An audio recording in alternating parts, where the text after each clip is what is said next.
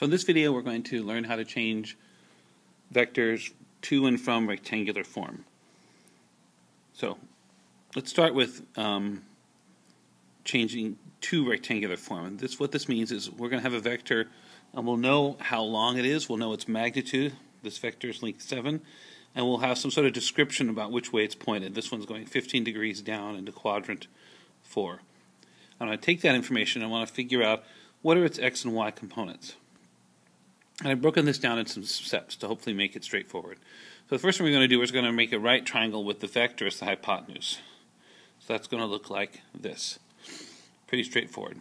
Next we're going to take this triangle that we've just made and we're going to label it for trig. So you have this angle, so this will be hypotenuse. There's adjacent to the angle, and there's opposite the angle. Remember what the arc touches is adjacent and hypotenuse. There's opposite. Now we're gonna, now we're going to use trigonometry to figure out how long opposite is and how long adjacent is.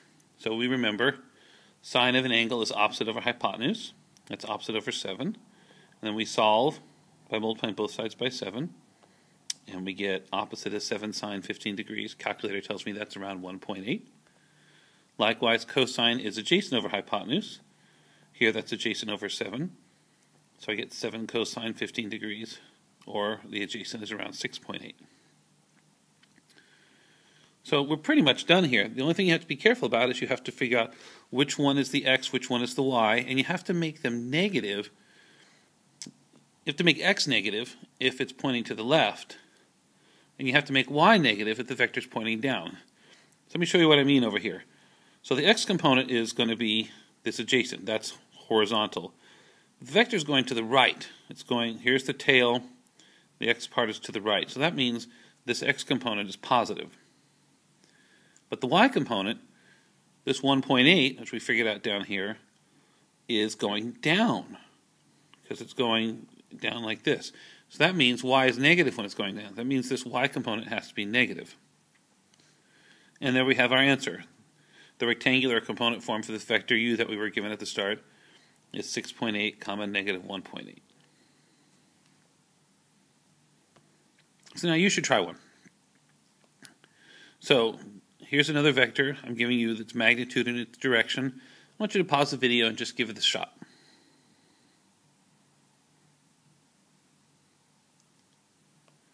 Okay, so here are my directions again. So let's follow them along. So I'm going to make a right triangle and label it for trig. There I have adjacent and I have opposite. Then I'm going to use trigonometry to figure out how long the adjacent and the opposite are. So I have sine 25 degrees is opposite over 12. Solving that out, I get the opposite is 5.1. Cosine 25 degrees is adjacent over 12. Solving this out, I get adjacent is 10.9. Now I just need to figure out which component is x, which component is y, and whether they need to be negative. If I look here, I can see the x component, which is horizontal, is going to the left. The vector is going like this, so the x component is going this far to the left. So this has to be negative 5.1 for the x. The y component is down. Goes from here down like that. So that means that this y component, this 10.9, also has to be negative. That makes sense. This vector is going down and to the left, so it should be negative, five, negative x component for the left and a negative y component for the down. What about the other way? What if I want to figure out how long a vector is, its magnitude and its direction, if I'm given the components? So here's my example. I'm going to take this vector 4 comma negative 6. I'm going to sketch it out and figure out its length and its direction. Remember, magnitude is just length. So this vector is 4 to the right and 6 down. So my first two steps are the same as before. I'm going to make a right triangle and I'm going to label it for trigonometry. So here the angle is not given. So you have to choose where you're going to put the angle. And the key here is the angle is always at the tail of the vector. You're never going to choose an angle at the tip. You're going to choose an angle at the tail of the vector to properly describe which way this vector goes. So there's the 4 and the 6. that come from the components that were given. I don't know the hypotenuse. So remember, the magnitude of the vector is just how long it is. So I'll use Pythagorean theorem to figure that out, because I have the other two sides. So the hypotenuse squared is 4 squared plus 6 squared. I square and add these up. I get the hypotenuse is about 7.2, so that would be the magnitude of my vector. What about the angle? Well, it's always going to be found using tangent. You can use tangent to get that angle theta. The reason I'm going to use tangent is because I know these two values. You shouldn't use this. This is rounded and approximate. Use the two components that you were given. Use the 6 and the 4.